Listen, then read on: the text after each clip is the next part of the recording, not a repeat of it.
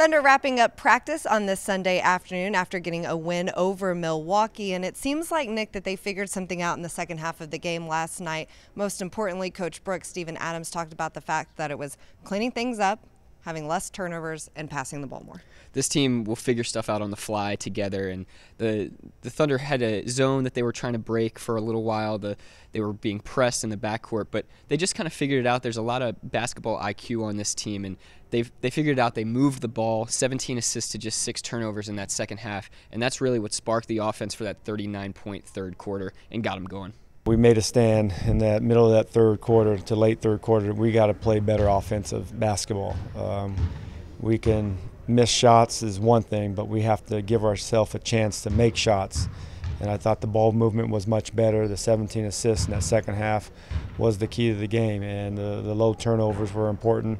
But I thought um, that middle of the third to all of the fourth, the ball was moving the right way. The second half, we just made sure that we just kept passing the ball more, get more passes before we shoot it, and that seemed to help us a lot. Now the Thunder goes on to Memphis. They'll play them Tuesday night for the second time this season and the second time on their home floor.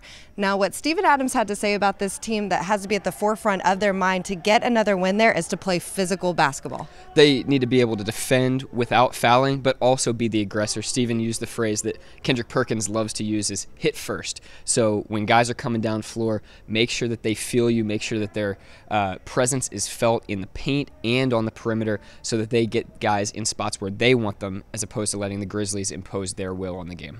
They've been playing really well. Just, uh, got a lot better since the last time we played them, so we've got to really lock down and kind of stick to what we're doing now, just defense and all that. The last time you were down there, you had a chance to go up against Zach.